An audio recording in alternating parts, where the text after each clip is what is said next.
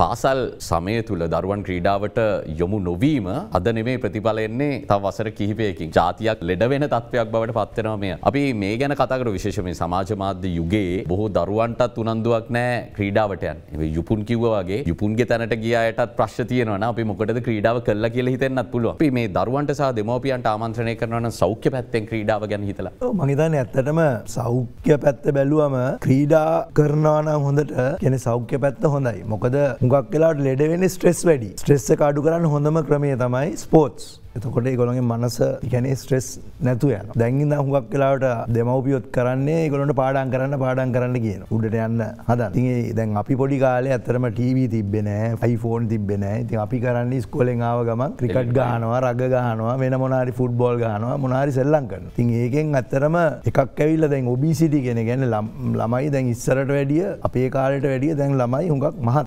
හුඟක් ඒගොල ක්‍රීඩ අඩු ඒවත් සෞඛ්‍යයට බලපානවා. ඉතින් මංහිතන්නේ ඇමතුමා කියන එක වැදගත්. මොකද අධ්‍යාපන දෙපාත්වෙන්තුවත් මේක බලන්න ඕනේ. සැත්තරම බලලා යම්කිසි කාලයක් වෙන් කරන්න ඕනේ ළමයින්ගේ මනස හදන්න. එතකොට ඒගොලොන්ට පුළුවන්. අනිවාර්ය කිරීම වගේ අනිවාර්ය කරන්න ඕනේ නෑ. මංහිතන්නේ ඒගොලොන්ට පැදිලි කරලා දෙවර අනිවාර්ය කරන එක අමාරුයි. සහැක් තිබුණ මගේද ඕ අනිවාර්ය කරන එක නේ මහිතන්නේ ඒගොලොන්ට ඒක කියල දුන්නොත් ආකල් පහද ආකල් පහදුව මහිතන්නේ එතකොට දෙමව්පියෝයි ළමයිනුයි ඒ ස්කෝලවල ඉන්න කට්ටියයි ඒ ළමයිංග පොඩ්ඩක් ඉස්සර අපි ඉන්නම ඉන්ටව ලෙවල්ල කෙනකල් බොද තොට බෑක් දත්දානවා ක්‍රිකට් ගන්න දැන්ගේම නෙවෙන දැන් මොනාරි අවස්ථාවකවත් ටෙලිෆෝන් එක YouTube කරයි නැත්තම් වෙන මොනාරි කරනවා. ඒ ඒකෙන් වෙන්නේ තවත් ස්ට්‍රෙස් වැඩිය නවා මොකද මේ ඒගොලොන්ට අර වෙලාවක් නෑ. ඒගොල කියන්න හුඟක් කලාවට පැයක් ඇවිද්දෝ තැන්දව එක හුඟක් හොඳයි කියලා. ඉතින් ඒක ව්‍යයාමයක්. ඒ වගේ තමයි ස්පෝට් එකත් ළමයින්ට සෙල්ලං කල්ලා ඒගොලොන්ගේ අර ස්ට්‍රෙස්ස කඩු කරගත්තම ඔය මහිද සෞඛ්‍ය පැත්තත් හුඟක්